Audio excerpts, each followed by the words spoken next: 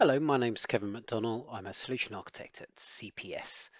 Uh, one of the things I was just wondering was if you try and create uh, a header extension on a hub site, does it sit above or below the menu?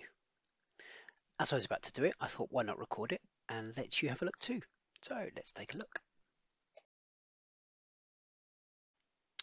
So what I have here is a hub site called the portfolio site and I've created another team site called the property site and as you can see we have the common header. If I click on that that will take me to the portfolio site. So I have the link between the two. Very simple. I haven't set anything else uh, on top of that. What we're looking to do is to have a custom search um, for reasons that I won't go into too much detail because it'll only cause arguments with some people. But we want to have an additional search box that only searches particular areas. Uh, and my the question is, when I add this, will it be above or below this menu? Um, what I can see from the uh, extension page on the SharePoint Docs Online deployer extension, you can see there when you have the placeholder, you see the top area of the page and the bottom area of the page. So the question is, on a hub site, where does that appear? Let's get on to developing a, uh, let's go into developing an extension. As you can see here, I typed Yo and remembered that uh, this is a relatively new laptop and I haven't installed a lot of things, so uh, another good opportunity to run through how to do that. Um, I have within here setting up your SharePoint framework, another one of the great docs from Microsoft on SharePoint. Under the getting started, there's setting up your development environment. So first step is to get Yeoman and Gulp installed. So what I'm going to do is copy the npm install paste that in there and hit enter. That will go off and start grabbing all the different pieces you want. Uh, if you're not sure what Yeoman is, again, there's lots of good documentation there, but effectively it allows you to generate um, from boilerplate sets of code to the common templates for code um, and run those, which really just gets you started a lot quicker. Uh, the other one mentioned there is Gulp. Uh, that allows you to run some automated tasks uh, using nodes and scripts within there and its own fun and games, which I uh, you can read more about within there. Effectively, those things allow you to get started. It will take a few minutes, uh, and I, I, will warn you, it does install quite a bit of things when you put the template in, so just be ready for that. While that runs, I'll just go and take a look at the next step, which is to install the Yeoman SharePoint generator. So you can see this is the Microsoft at Microsoft Generator dash SharePoint. This is the actual Yeoman template itself for doing SharePoint framework um, work. Uh, basically. So this will create a scaffold project. You can see more information that you can drill into on there. I'm going to pause the video and I'm, I'm going to run finish off this install and finish off the install the generator uh, and come back when that's all done.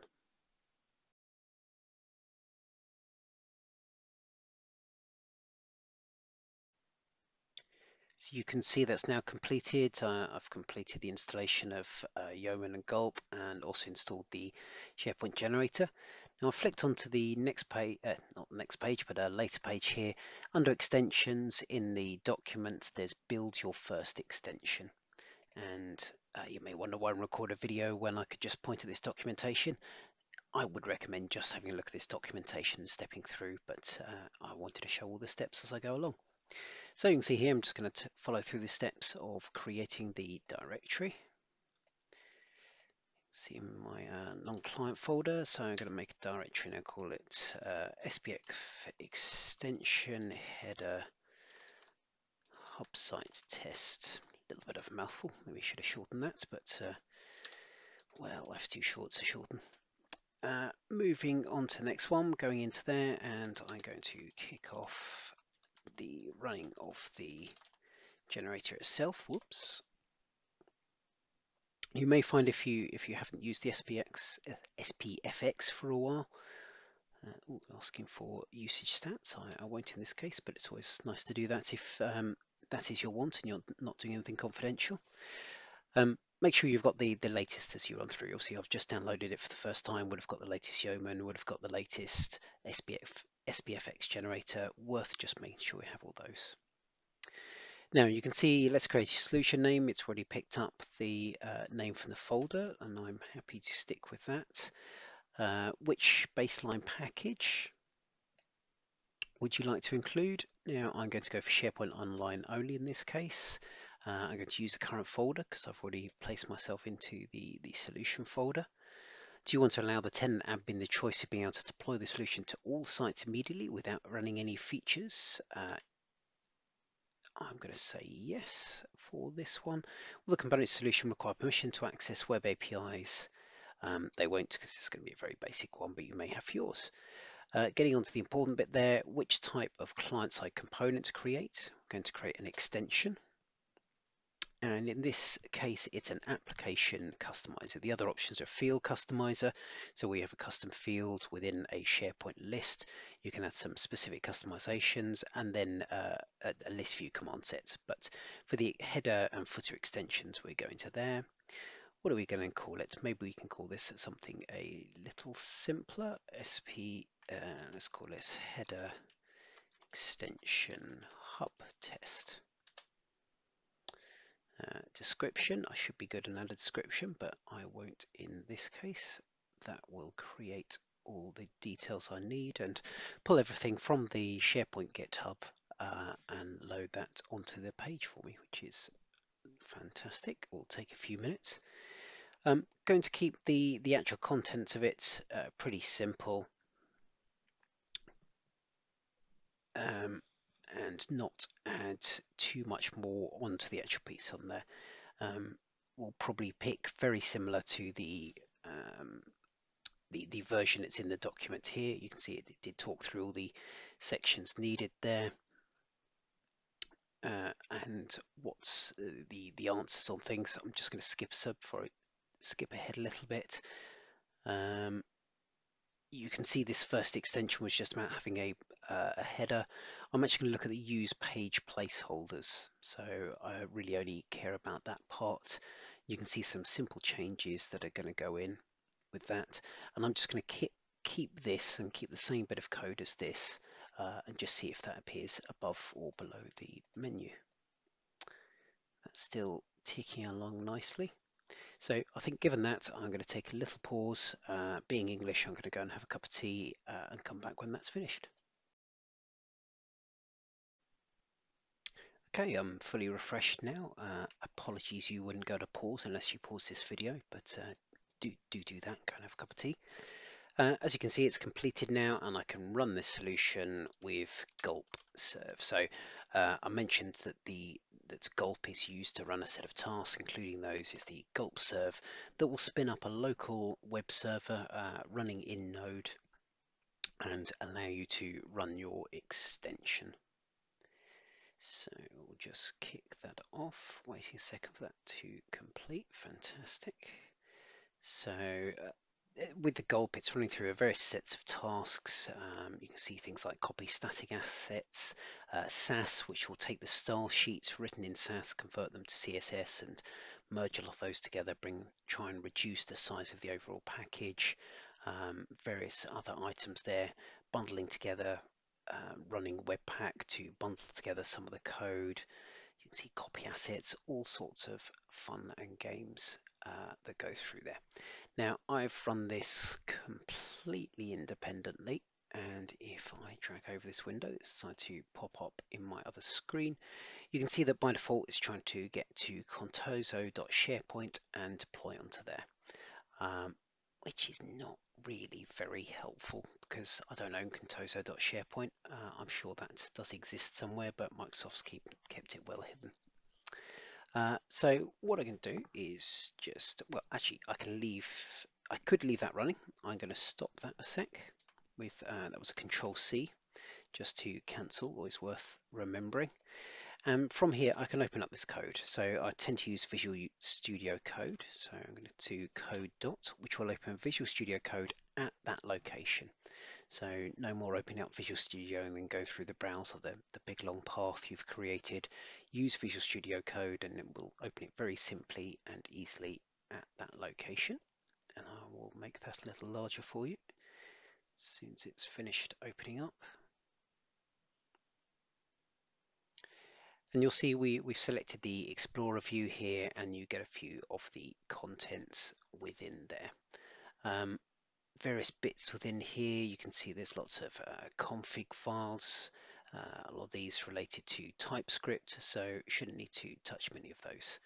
There's the package file, which you could be could use for setting the version numbers of the actual code itself um, and any of the Node package manager npm dependencies you've got in there. By default, because we've used that Yeoman template, it's copied stuff across already. You'll find uh, a large amount within config. So if we look in config JSON, you start to get an idea of the different components, what it loads by default. Again, no real need to touch that. Copy assets, again, it will be where it's copied some of the details from, and if you're deploying to the CDN, where that will go. Uh, if you want to deploy into Azure Storage, it will put the details into there.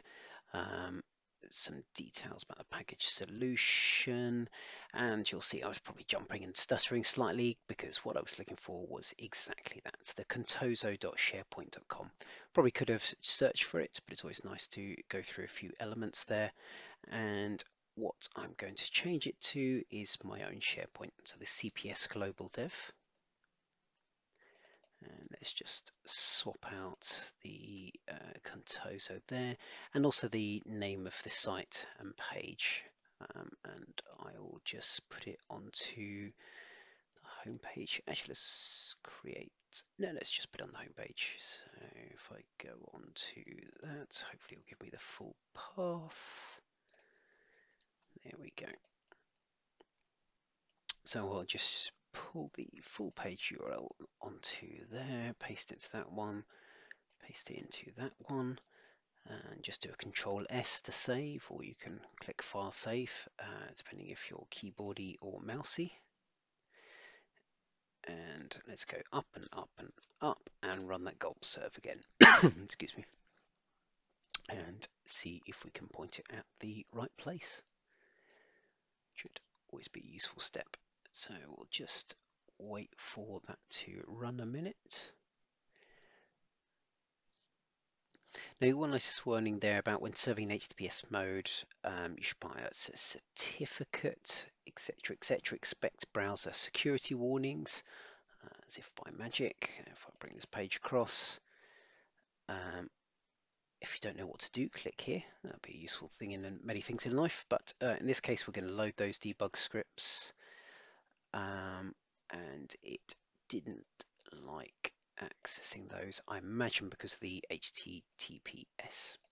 So set up your framework environment. So this was in the original setup development environment. There was a final step that I, I didn't show originally because I wanted to create the project first, but you'll see there's actually a gulp task within there um, for setting up. So I'm going to jump back, uh, cancel this cancel the running gulp serve. Um, now, another thing I did notice there is uh, make sure you have your dependencies installed with npm install. Uh, I believe it would have run that uh, already as part of the installs I've done, but uh, there's no harm in triggering it. Now, what, what that does, if you're, you're not sure, the npm install is if I jump into code, I'm just going to close the other one to stop me getting confused.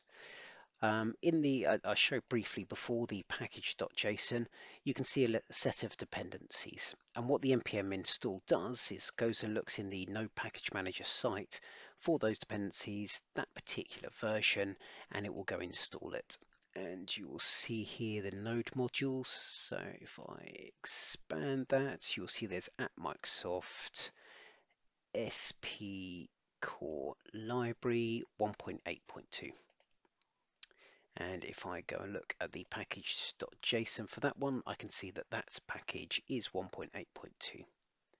Now you may be wondering why there's lots of other things there as well.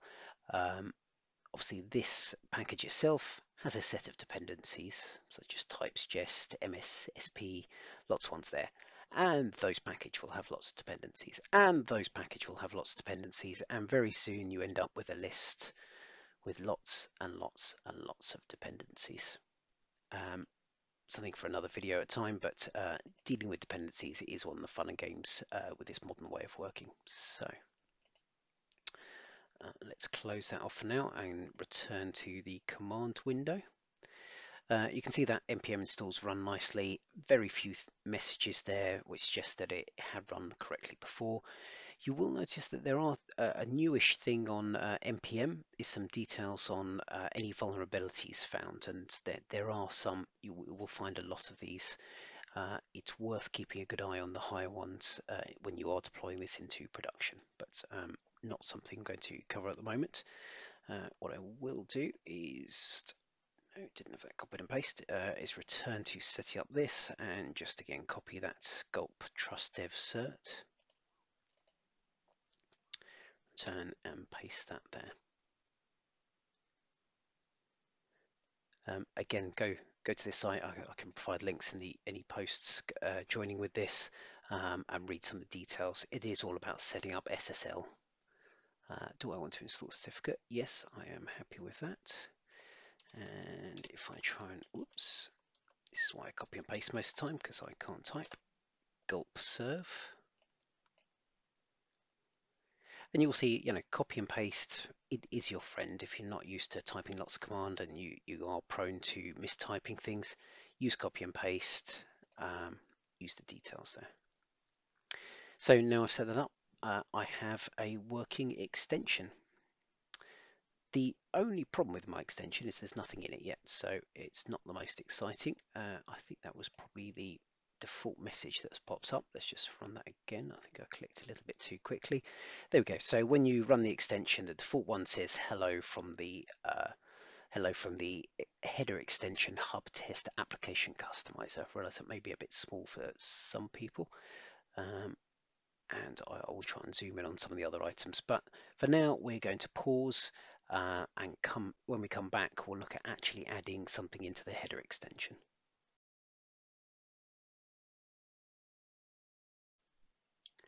Okay, and we're back again. So I'm going to go back to the node window now and just uh, again do Control C to cancel the running tasks there. Um, now we have everything set up to put the uh, the header placeholder in. I'm going to install the, in fact, this copy and paste as I mentioned before.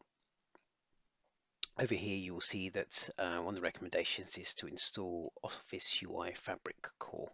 The reason for this is just gives you many of these styles and details within there. So I'm going to copy and paste that and install UI Fabric. If you are looking at using UI Fabric, let's just uh, bring that across.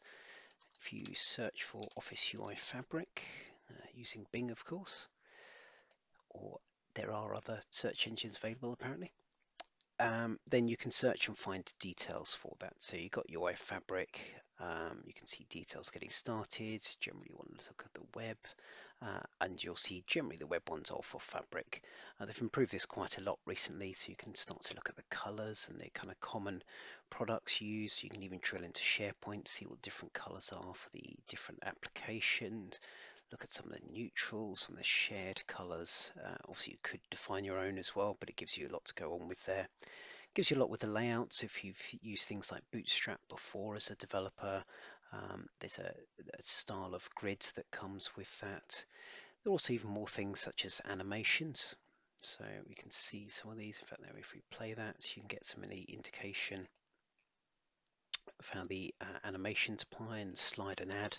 They try to keep these relatively subtle and simple, but just give a, a little bit to your application. Uh, as well as that, and I'm trying to remember where that sits now. You can see there's a theme, uh, theme designer, which is great. Um, but there's also some of the controls there. They are along the bottom. So you can start to use controls and buttons and some of the details uh, like that to, to really get it to look like the rest of your SharePoint site. So just flip back and see that's now installed, which is great. So we're going to jump into uh, code again and following the, the document uh, on my other screen, the joys of having two screens and being able to split those nicely.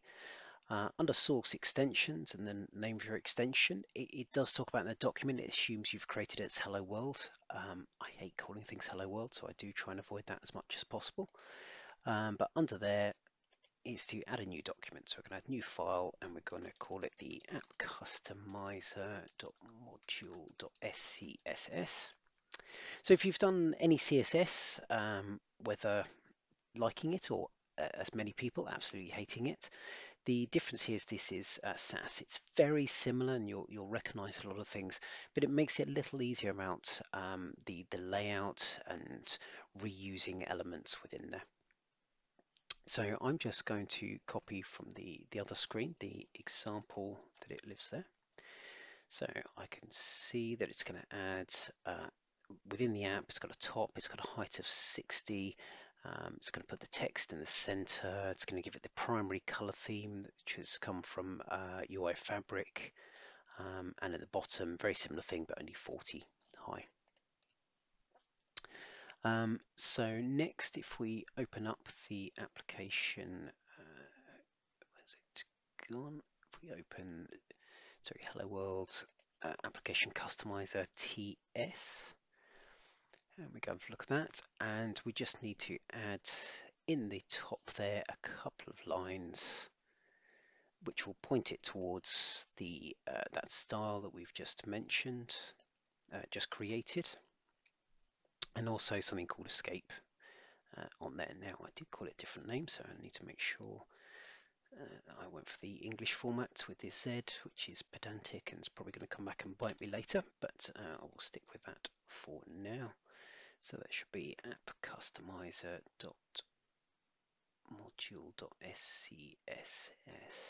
Ah, it's just saying it's um, declared but not used, which is why I'm getting that line onto there. Uh, so moving down, we're going to look at the TS file again. Uh, we're going to look at the properties within there. Uh, and we're going to add two two strings to describe that. So you can see we get test message in there. We don't need that anymore. So we can replace that as it says in the message with our own values. So this I imagine is going to be the text that's going to go in the top and bottom of the customizer. Um, following through the next, we need to uh, add to the default class itself. Um, within here, the export class, this is where the, the real action happens. So we're going to add those. Cannot find name placeholder content. Ooh, wonder why that is. Let's just have a quick look, make sure I haven't missed any steps. Okay, I'll come back and hope that uh, works okay later. Uh, the next one is for the on it. So you can see the, the previous one, it had a message and it would do an alert on that message as we saw. Um, I'm just going to overwrite that with the one from the page to instead, uh, in this case, we're just going to say when the placeholder changes, then render the placeholders. And you'll see we're getting an error on that, and there's no such thing as render placeholders because very conveniently the next step above includes a very long method, which is where we will put the render placeholders. Um, I'm not going to go into too much detail of what this does, apart from find out why placeholder name doesn't uh, doesn't like it. Uh, you can go through the documentation and have a look at that. There's some nice details on the explanation there. Uh, and then the final one, we just need to add an on dispose. Uh, there. Um, you may notice something that I recommend if you're doing a lot within code. Uh, there is a uh, I've forgotten the name, I'll, I will add it to the notes, but a, a rainbow definition on your brackets. So you can see, for example, here, the brackets here are red, so I know that those two are paired together. The brackets here are orange, so those are paired together. Makes it a lot easier to make sure you're closing your brackets and putting things at the right levels. So next step, we need to move to the serve.json um, in the config folder, which is up there, the one that we changed the uh, file name there. And we need to add within there, instead of the properties test message, we need a top. These are the properties passed through to the web part. Top and say, hi, I am up the top. Another one for bottom. I am sadly stuck at the bottom where no one reads reads me. Um, and we do that for both of those. So let's just copy and paste that down into the properties. Okay, that's all looking good. Let's just uh, do a file, uh, let's do a save all. So if you're using code, nice little quick click there to save all your open ones. Let's go back to node, up, up, and gulp serve. Excuse me. Now, I have a feeling this might error on whatever that placeholder name was, but uh, we'll cross our fingers and hope for now. I'm just going to jump back to this browser to make sure it opens in this window Let's see, is that doing anything?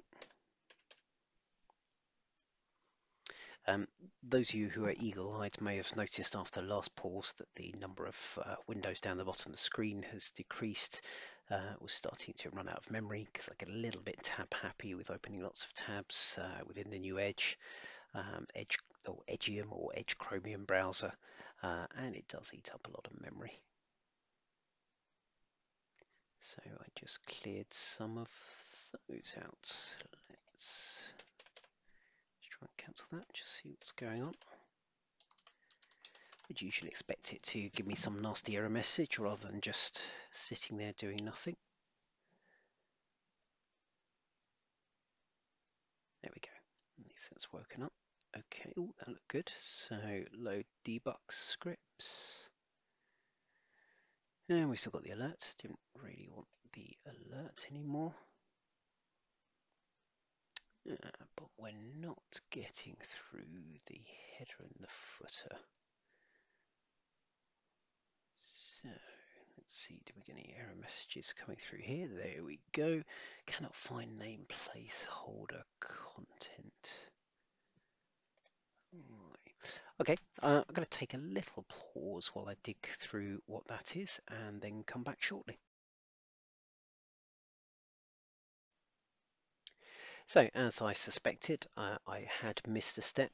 Uh, if I just pull the guidance over here, uh, it is something to remember that if you talk and waffle on while you're meant to be doing things, you are likely to miss steps. So where I added the SCSS here, it's also a line for adding content. So you can see uh, as well as importing the styles, which I did, I missed the importing of the placeholder content. So let's put that back over there and slide that along the top. Um, I'd love to hear from people if you have any conventions you use in terms of order um, of things that you, you add there. Oh, in fact, we can see we've already added that one there. Um, if you have any logic, if you try and group it together in alphabetical order, uh, if you try and get custom ones or things, uh, I would love to know uh, how you do that. I do try and organize it. it. It's certainly grouped by the different functions and things on there, but I haven't really found a way that that I'm 100% happy with and I always apply to everything. So uh, would definitely love to hear from anyone who's managed that. Okay, if we go back now, hopefully this has uh, recompiled automatically because we have the uh, hot reload on and I can go into the site and let's see what happens if I refresh that. Load the debug scripts and there is our answer. A hideous brown colour that doesn't sit with the rest of it, but it answers the question that when we add a placeholder, it appears above the menu um, which I think is nice because then you can have the, the same theme color uh, and make that look like a continuous block. Uh, obviously, you don't necessarily need to have it as big as that, rather than having the white menu and then the uh, an extra color underneath it. So I think that certainly suits my needs nicely. Uh, long-winded way of saying it fits there, but uh, I hope that might help some people to get started with putting placeholders in. Thank you very much.